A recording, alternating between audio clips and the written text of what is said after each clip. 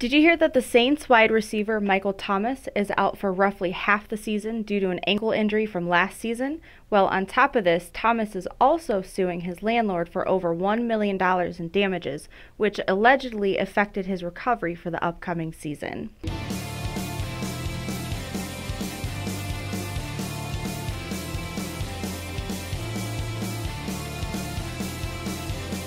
It's no surprise that Michael Thomas's ankle injury and surgery is going to hurt the Saints this upcoming 2021-2022 season. In September of the 2020 season, he had a career-threatening ankle injury that would require surgery. Due to unknown reasons, he postponed the surgery until June of this year.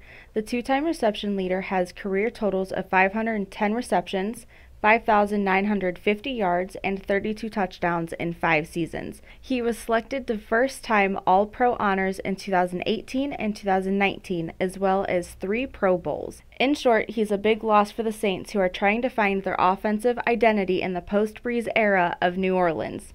In preparation for this recovery period, Thomas had rented a home in Bel Air for $60,000 a month.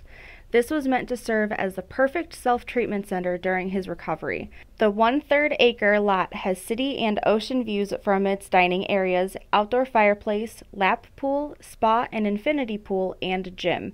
Instead, this perfect self care home turned into a nightmare. Allegedly, Thomas stated that during his stay in the home from February 4th to April 5th, the six bedroom, seven and a half bathroom home had malfunctions relating to the pool, garage doors, and kitchen appliances. On top of that, the landlord's unnamed representative allegedly repeated showing up unannounced, which is illegal in the state of California.